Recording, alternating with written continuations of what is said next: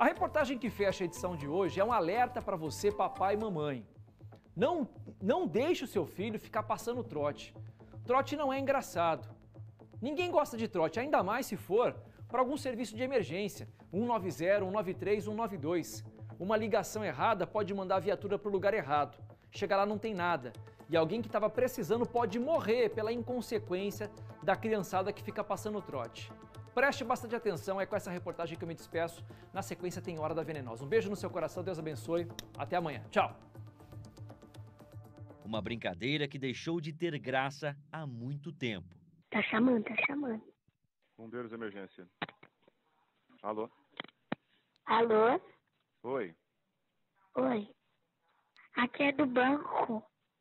Os áudios são todos de ligações para a Central de Emergência de Maringá, onde estão o Corpo de Bombeiros e também o SAMU. Em uma das gravações, é possível perceber nitidamente que uma criança está sozinha em casa fazendo uso do celular. Bombeiros emergência. Oi? Pois não, do bombeiro. Então, amor, aqui a minha filha, ela tá aqui na minha casa, aí ela tá fazendo uma massagem e eu tenho sete anos. Minha mãe não tá aqui em casa. O que, que aconteceu? O que, que você precisa aí do bombeiro?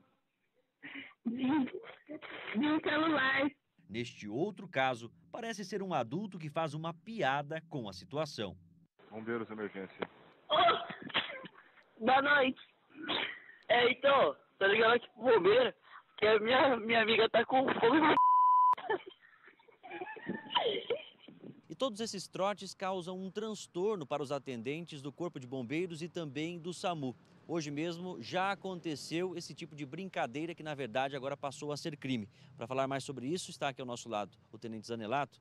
Tenente, uma questão que é antiga, mas ainda registrada hoje e, sem dúvida alguma, uma brincadeira que não faz parte né, do, do dia a dia, que não deveria fazer parte.